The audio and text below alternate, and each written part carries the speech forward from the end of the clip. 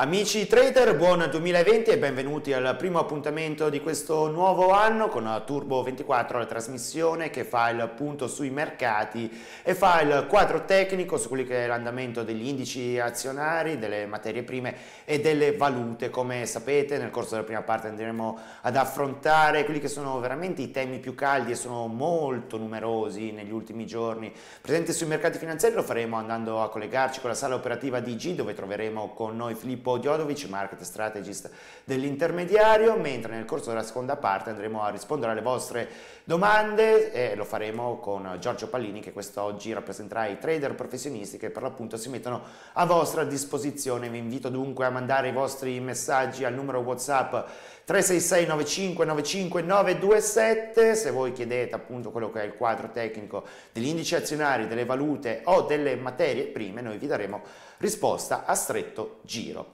Dunque ripartiamo con questa nuova edizione, questo nuovo anno di Turbo 24 andandoci proprio a collegare con Filippo Diodovic. Filippo, ciao, buongiorno.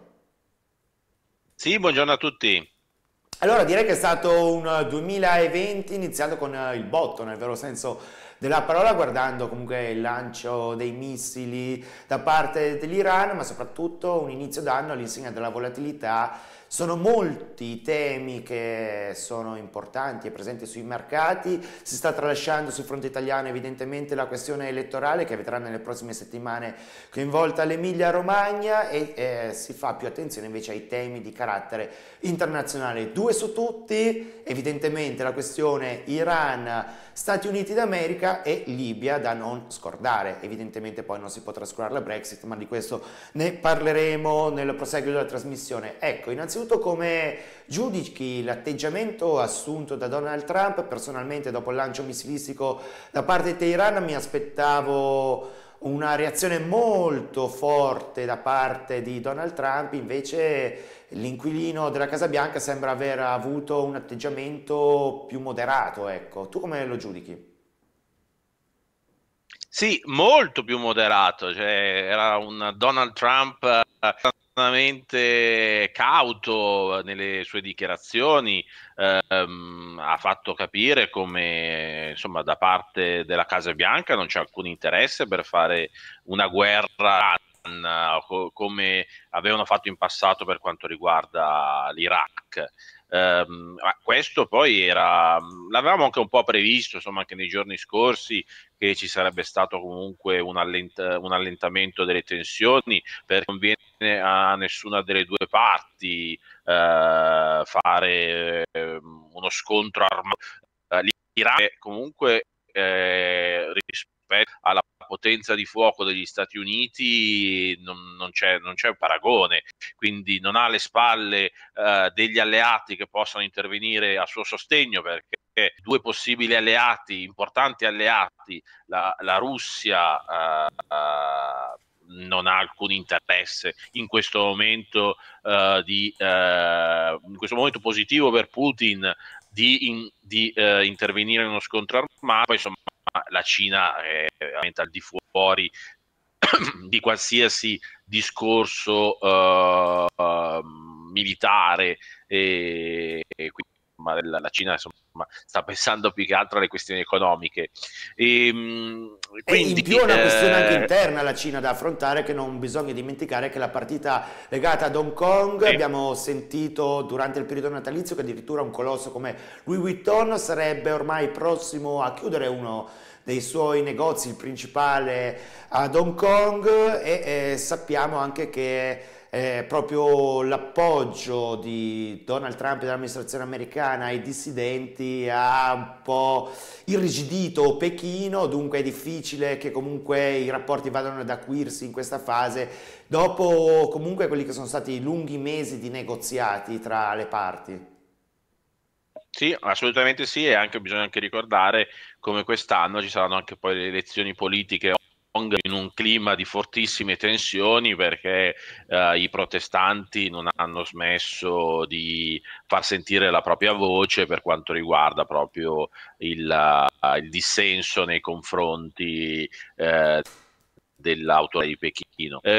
Um, e poi ecco, per quanto riguarda avanti, ecco, eh, ricordiamolo, siamo nell'anno delle presidenziali e Donald Trump non può portarsi avanti un, uh, un elemento come una guerra con l'Iran uh, in, in campagna elettorale.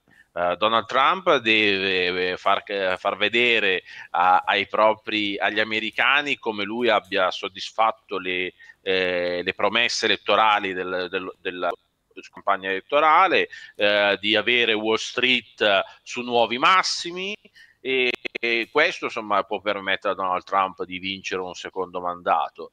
Quindi era veramente difficile immaginare un'escalation per quanto riguarda lo scontro Stati Uniti-Iran, nonostante il, il target, eh, l'obiettivo colpito dagli americani, quindi l'uccisione di Qasem Soleimani, è stato un fatto gravissimo perché era una delle figure eh, politiche, eh, militari, eh, politico-militari, ma anche una figura fondamentale quanto da il, era tipo la terza, quarta figura più importante eh, dell'Iran, perché come avevamo ricordato anche nelle scorse settimane, è una persona um, che eh, oltre ad essere il capo militare di questa brigata santa che si occupava dell'operazione al di fuori dell'Iran, aveva anche il compito di uh, diffondere l'ideologia comunista uh, uh, all'estero, quindi militava, quindi cioè,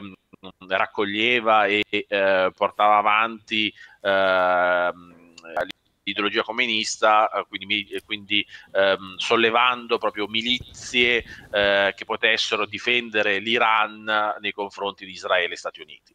Eh, quindi, nonostante questo fatto gravissimo dell'uccisione di Qasem Soleimani, abbiamo visto la, la risposta dell'Iran, comunque una, un, attacco alle basi americane in Iraq. Eh, ci aspettiamo che ci possano essere ancora ulteriori rappresaglie. Eh, non ci stupirebbe con, chiamati attacchi cibernetici, quindi degli attacchi informatici da, da parte dell'Iran che è eh, molto su questo perché eh, il, um, si è dovuto difendere l'Iran da, da uh, quello che viene chiamata, è stato chiamato la missione Stuxnet nel 2012 o 2013 se non, non, se non erro, che è stato proprio uh, l'attacco da, cibernetico da parte degli Stati Uniti per fermare per circa un anno le centrali nucleari del, per questo poi l'Iran si è messo molto, a, um, ha investito molto in ricerca proprio sulla, sulla difesa e, sulla, e sull'offesa uh, nel, nel cyberspazio. Però ecco eh, che insomma è una cosa che sembra molto, molto, molto moderna, però invece è molto attuale eh, perché, come detto, questi attacchi possono provocare forti Un po' l'avevamo visto eh, insomma, che, ehm, eh, che, l'Iran era stato già responsabile insomma quell'attacco alla strutture di, di Samco. Quindi ecco, è sicuramente la situazione.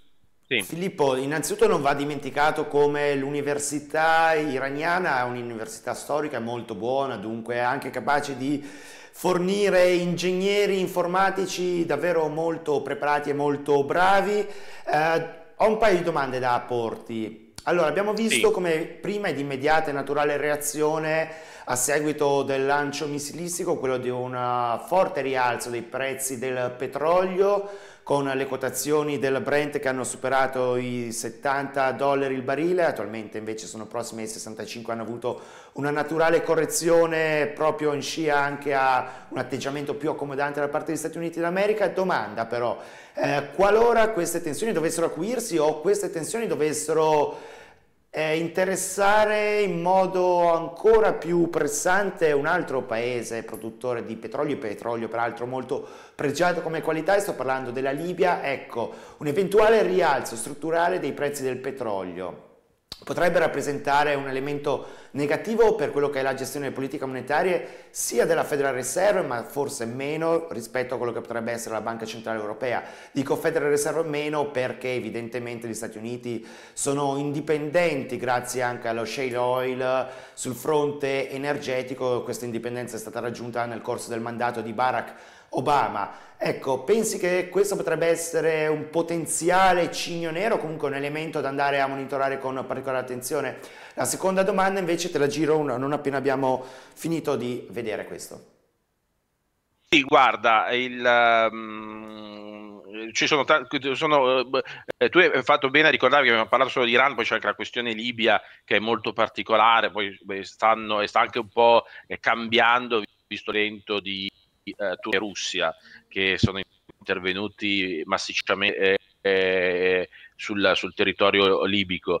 Eh, per quanto riguarda il prezzo del petrolio, un prezzo del petrolio alto che possa quindi eh, cambiare eh, le politiche monetarie delle banche centrali, eh, questo è possibile deve essere mantenersi molto, uh, salire ancora e mantenersi almeno sopra 85 dollari, perché guardiamo come l'aveva anche più volte citato eh, Mario Draghi su questo tema Mario Draghi erano state fatte molte domande eh, sulla volatilità dei prezzi petroliferi e dei prezzi energetici.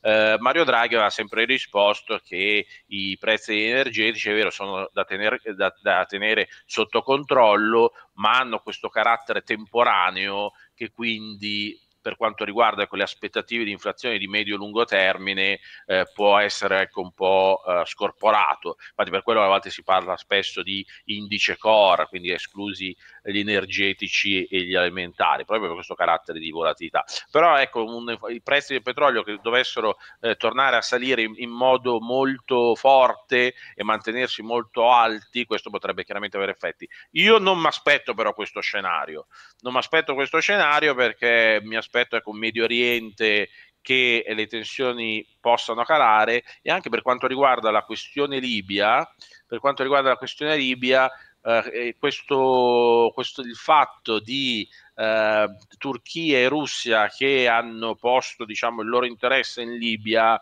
eh, per trovare un compromesso tra le due fazioni potrebbe portare a delle novità importanti. Ecco Filippo, l'altra domanda invece viene da uno spettatore a casa, ma eh, di fatto va in linea con altre domande ricevute, ma che farò dopo a Giorgio perché sono più tecniche. Nello specifico chiede come si giustificano questi massimi in borsa, soprattutto il DAX? L'unico indice positivo tedesco che vedo è la fiducia ai consumatori, ma cala l'export e cala il comparto automotive. Ecco, come giustifichi questo? Come mancanza di alternative? Nel senso, eh, sul fronte obbligazionario probabilmente gli, gli, investitori non trovano molto appeal, su altre asset class magari non hanno una conoscenza approfondita, sappiamo che il mondo delle materie prime è molto sfidante perché sono molte le variabili a tenere a mente e non è proprio facile come mercato, ma... Eh, perché secondo te un indice come il DAX, ma vediamo anche gli altri, sono vicini o ai massimi storici o ai massimi di periodo? Sì, è una delle più grandi anomalie che abbiamo sui mercati finanziari. Economia tedesca che va male, con uh, l'ultimo indice PMI matturiero ha mostrato uh, un'ulteriore contrazione del comparto e azionari sui massimi, che quindi è chiaramente un'anomalia, uh, vista che insomma poi le aziende sono molto legate, l'indice tedesco è molto legato al settore auto. Come si spiega? Si spiega, ehm, tu hai detto un, una possibile ragione, che è quella di... Ehm, che ci sono diciamo poche, c'è tanta liquidità sul mercato, perché comunque eh, la, le banche centrali sono, hanno un atteggiamento ultra accomodante, eh, ricordiamo perché insomma la BCE eh, continua sempre a dare liquidità sui, sui mercati, ehm, c'è poca alternativa, c'è il fatto che per quanto riguarda uh, le, eh, il settore manifatturiero tedesco è vero che sta andando male, ma ci sono diciamo, delle prospettive di un miglioramento.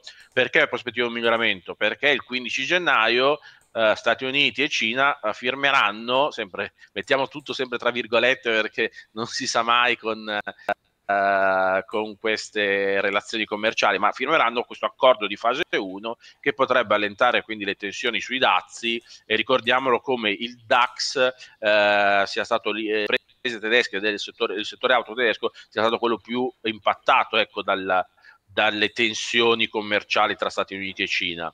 E questo ecco, può, portare quindi, ehm, ehm, può portare quindi ottimismo sui mercati. Ricordiamo, i mercati azionari poi scontano tutto ancora prima, quindi cioè, il mercato sta scontando che il prossimo uh, semestre l'economia tedesca possa migliorare, quindi possa evidenziare un miglioramento per quanto riguarda settori più strategici.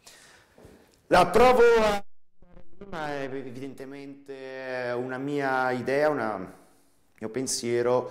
Allora, sappiamo che i mercati viaggiano sempre con circa 12 mesi di vantaggio su quello che è l'andamento dell'economia, probabilmente L'indice tedesco aveva scontato molto quello che era la tensione commerciale fra Stati Uniti e Cina perché sono due paesi che rappresentano i principali partner commerciali per quanto concerne Berlino, ma dall'altra probabilmente vi è un ulteriore elemento positivo rappresentato da quello che è il chiamiamolo Green New Deal, che eh, potrebbe cambiare anche quello che è la struttura del PIL tedesco con maggiori investimenti privati e pubblici interni e quindi evidentemente un aumento dell'occupazione che già comunque è a livelli stratosferici, se si va a vedere quello che è anche il tasso di disoccupazione minimo e naturale, ma appunto avere investimenti e quindi crescita interna e meno legata invece all'export.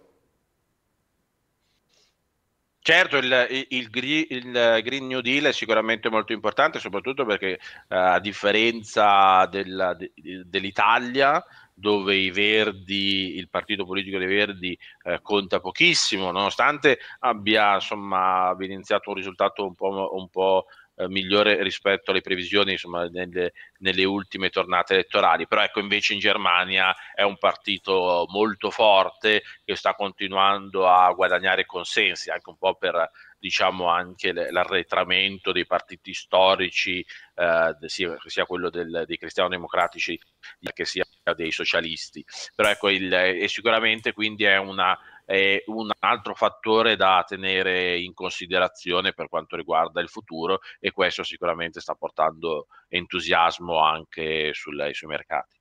Verdi che peraltro sono andati al governo in Austria e sembrano essere il partito a livello europeo che è maggiormente in crescita, questo probabilmente si verificherà anche in Italia, siamo un po' indietro per il momento ma eh, bisogna proprio considerare da un lato la, la sensibilità dei millennials e non solo verso il tema ambientale che sta prendendo sempre più piede, quindi questo in modo naturale dovrebbe portare a una crescita del consenso, peraltro è emerso in modo chiaro e netto anche in occasione delle ultime elezioni europee dove il Partito Verde ha avuto un numero crescente e significativamente crescente di parlamentari.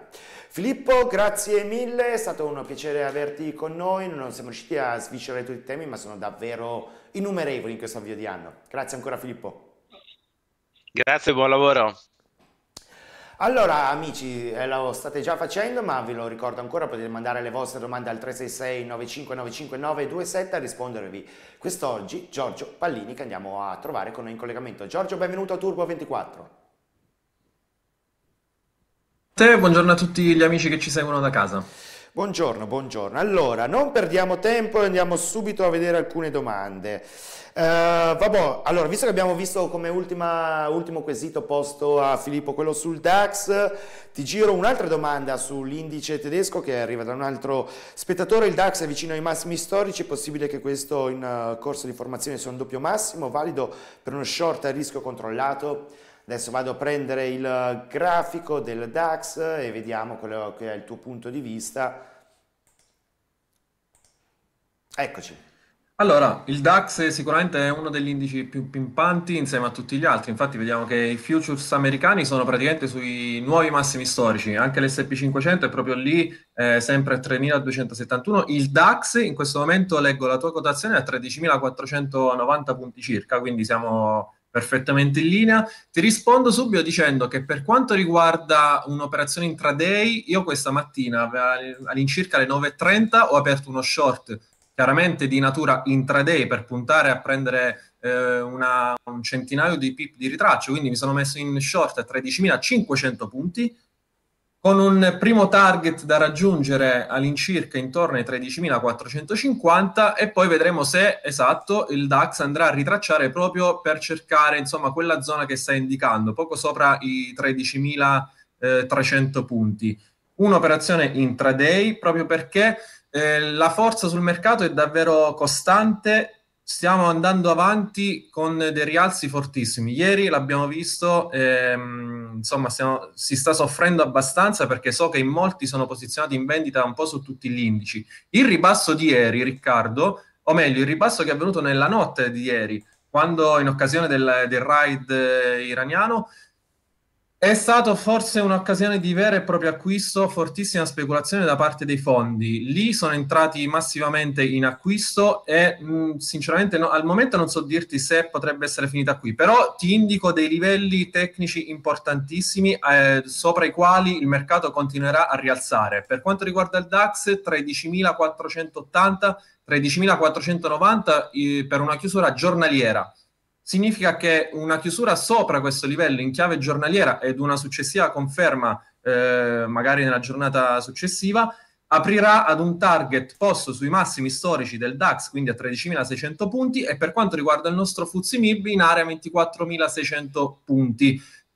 Chiaramente in concomitanza di nuovi rialzi sugli indici americani, ma questo lo vediamo già. Per cui, ripeto, 13.490 punti di DAX in chiave giornaliera è una chiusura sopra i 24.070 punti di Fuzzi Mib, ovvero il massimo registrato questa mattina, apriranno ad una nuova fase di salita da qui alle prossime sedute per quanto riguarda gli indici eh, europei e chiaramente gli indici americani che continuano a battere record su record.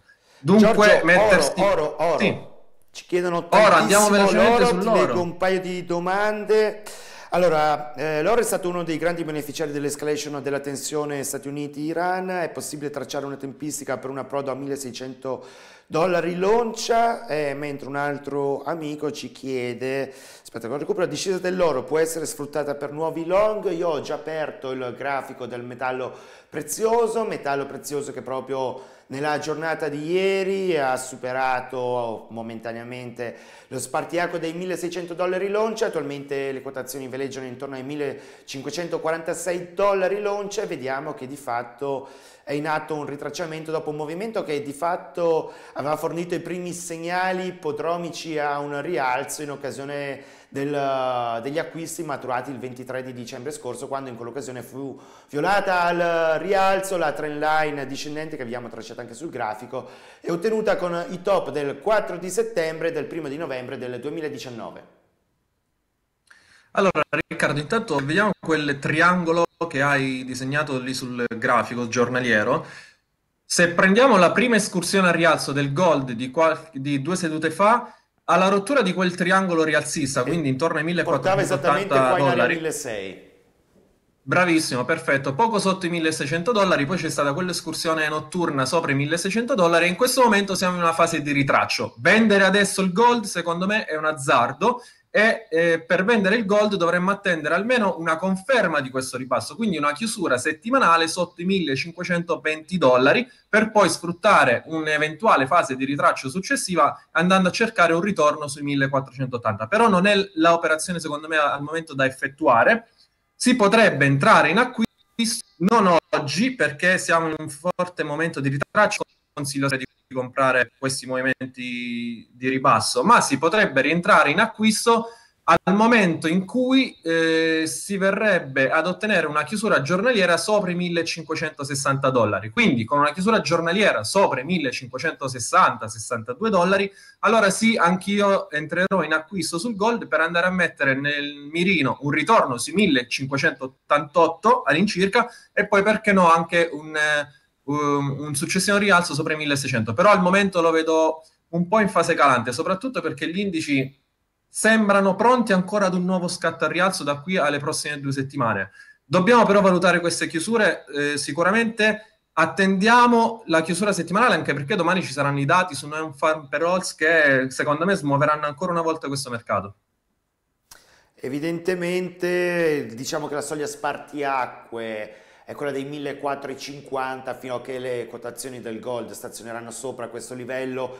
Io l'ho arrotondato, ma è quella l'area, eh, sì, sì, esatto. se avrà una struttura positiva, possiamo vedere come anche IG offra con i suoi Turbo 24 Certificates diverse soluzioni anche con delle leve interessanti che hanno come, come livello di knockout proprio dei valori sotto questa soglia, la vediamo qua dei 1450, penso in questo caso non so a questo certificato che ha un livello di knockout a 1438 dollari l'oncia che ha una leva 15 ma volendo mantenere comunque una leva a doppia cifra anche addirittura un livello di knockout a 1381 che come vediamo è particolarmente sotto questo livello. Dunque ecco si potrebbe eh, aspettare un ritracciamento per costruire strategie o volendo sfruttare anche le indicazioni fornite da Giorgio è possibile prenderlo con una con un rischio minore andando proprio a collocarsi quello che è, sotto quello che è un livello di supporto estremamente importante e significativo. Eh... Sai, sai, cosa Riccardo? Per completare un attimo sul gold, prima che di vedere gli indici e quindi andare a lavorare poi eh, di riflesso sul gold e anche sul petrolio, io darei uno sguardo al dollaro perché è l'unico strumento che dalla, era, dall'inizio era dell'anno, proprio quello che volevo chiederti. Giorni... Perché...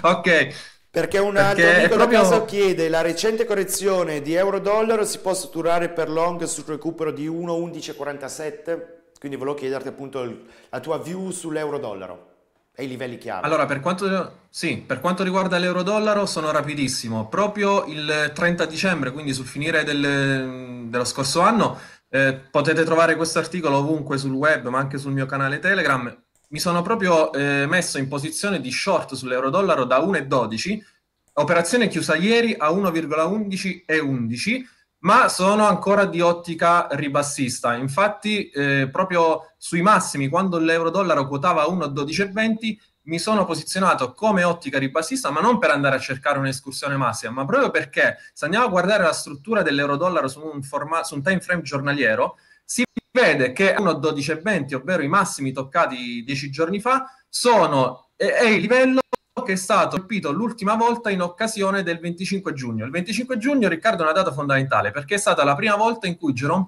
Powell ha dato ad un possibile taglio dei tassi. Poi successivamente ne sono arrivati ben tre di taglio di tassi eh, tra um, settembre, ottobre e novembre che hanno sempre mantenuto diciamo, il dollaro forte, anche se ha avuto una fase di, lie- di lievo ritraccio, perché eh, da settembre a fine 2019 il dollaro è andato un po' in fase calante, ma proprio il minimo è registrato il 30 o 31 dicembre, adesso non ricordo, secondo me potrebbe essere una sorta di bottom dal quale il dollaro potrebbe riprendere a rialzare. In questo momento è già sulle prime resistenze, infatti di riflesso anche l'euro-dollaro a 1.11 ci è arrivato proprio pochi minuti fa, un minimo a 1.1096 se non sbaglio, Qui si potrebbe avere una leggera fase di rimbalzo, però ti dico Riccardo che fin quando non si torna sopra 1,11,30 per quanto riguarda l'euro-dollaro, per me non c'è nessuna fase di riacquisto di euro, anche perché l'euro sta andando incontro ad una continua fase di svalutazione ormai da due anni. Non, sono, non c'è nessun motivo fondamentale per il quale la nostra moneta debba riprendere a crescere. I dati aggregati economici non lo consentono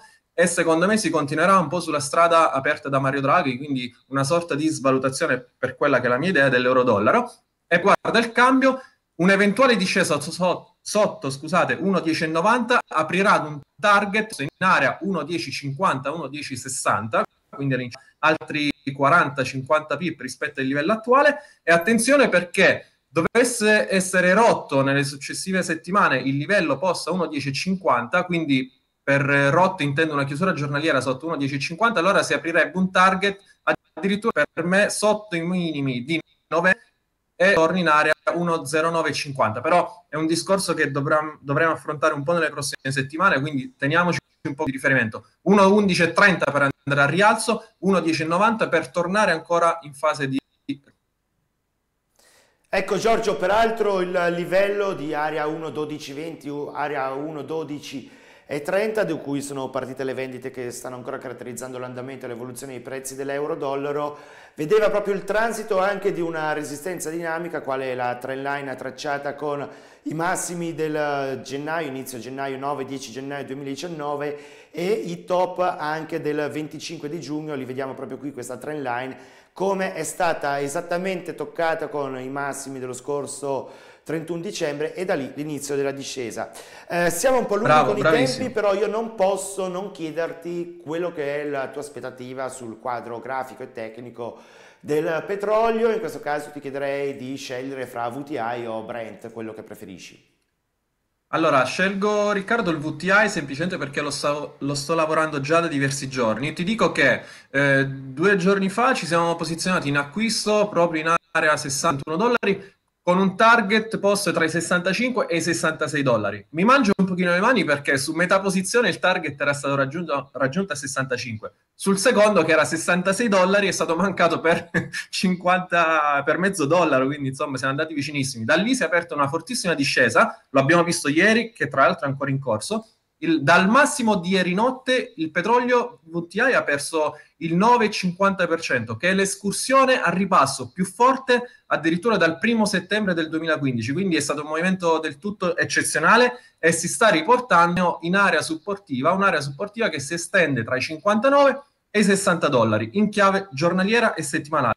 Per cui dentro questa area supportiva è possibile acquistare. Io ho già due posizioni, una presa a 59,60 dollari e l'altra a 60 dollari netti in posizione di rialzo per cercare un rimbalzo della quotazione che si attesti in area 61,50 dollari circa. Quindi un'operazione anche qui un po' di breve periodo. Però attenzione perché ehm, so che l'esposizione del comparto retail sull'escursione eh, a rialzo delle ultime due sedute è stata note- notevolmente a rialzo, infatti poi il prezzo è crollato. Ma qui ci sono anche delle dinamiche di natura, fond- natura fondamentale. Prima ne avete accennato qualcosina, lo sappiamo bene, che sotto i 60 dollari in pratica, tagliamo la testa al toro, chi guadagna sul prezzo del petrolio sono praticamente solo gli Stati Uniti, perché i paesi medio orientali hanno bisogno di un prezzo più elevato. Per cui, sapendo che il mercato sostanzialmente viene fatto dagli Stati Uniti, sfido io a dire che da qui alle prossime settimane il petrolio tornerà sopra i 66 dollari. Mi sembra un po' strano, però ripeto, siamo in quest'area di supporto tra i 58 e i 60 dollari. Prendiamo un po' il pieno un ritorno, riconcludo, sotto area 58 e 50 in chiave settimanale, quindi una chiusura settimanale sotto i 58 e 50, riaprirebbe uno scenario totalmente negativo e eh, scusate, negativo intendo uno scenario short sul petrolio che addirittura potrebbe tornare sui minimi, quindi in area 55 anche più giù. Quando si resta con una chiusura settimanale giornaliera sotto dollari 60,50, allora sì è possibile eh, lav- tornare a lavorare in acquisto per prendere dei target, come detto, a 61,50, poi 62,50 e poi via via fino ai massimi registrati. Davvero in due minuti ti chiederei una view su quello che è l'S&P 500 in per modo vorrei rispondere a questa domanda.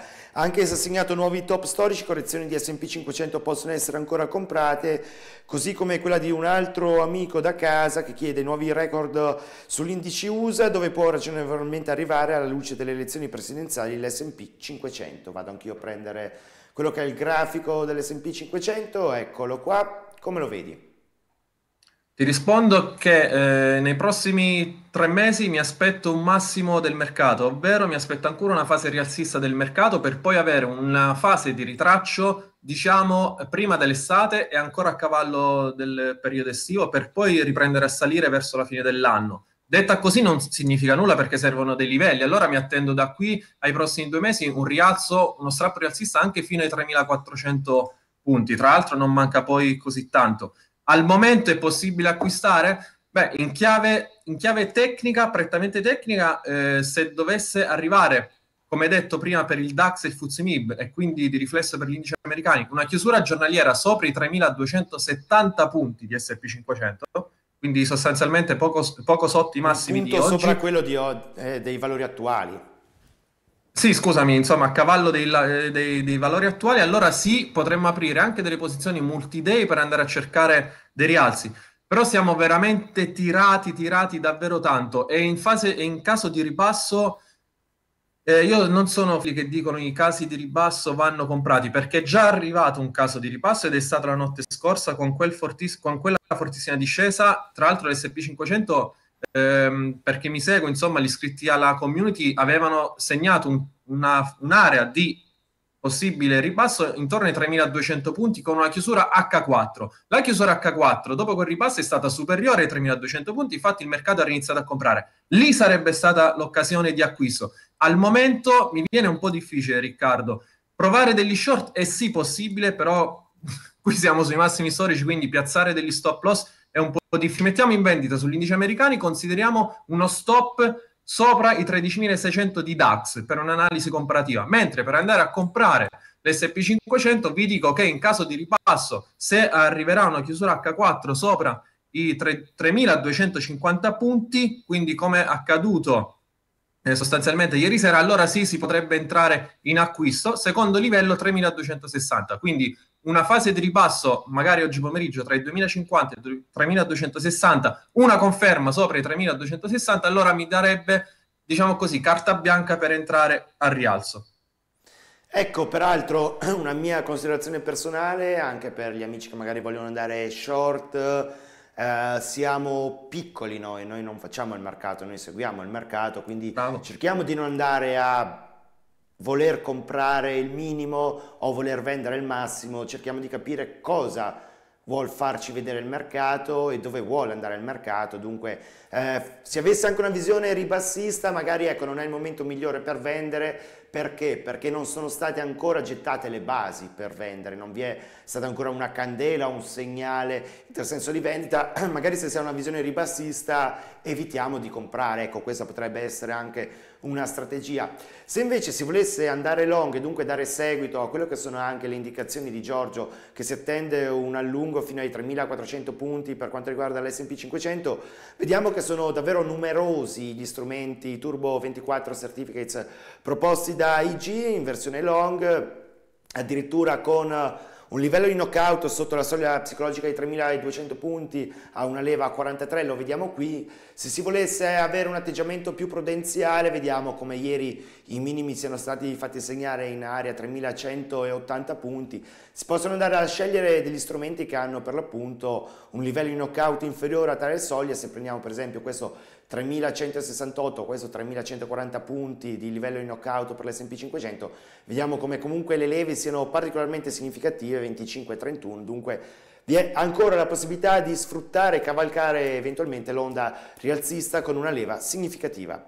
Giorgio, grazie mille per aver risposto alle domande dei nostri spettatori, è stato davvero un piacere averti con noi a Turbo 24. Grazie a te Riccardo, è un piacere tutto mio, un buon trading ed una buona giornata, ci vediamo presto. Buona giornata e buon trading anche a te. Grazie invece a tutti voi per aver seguito questa puntata di Turbo 24, spero di aver risposto in modo completo alle numerose domande che sono giunte quest'oggi, inevitabilmente a catalizzare l'interesse di tutti sono stati asset quali per l'appunto oro, euro-dollaro e petrolio che sono per quanto concerne materie prime due degli asset più movimentati nelle ultime ore. Grazie ancora per averci seguito.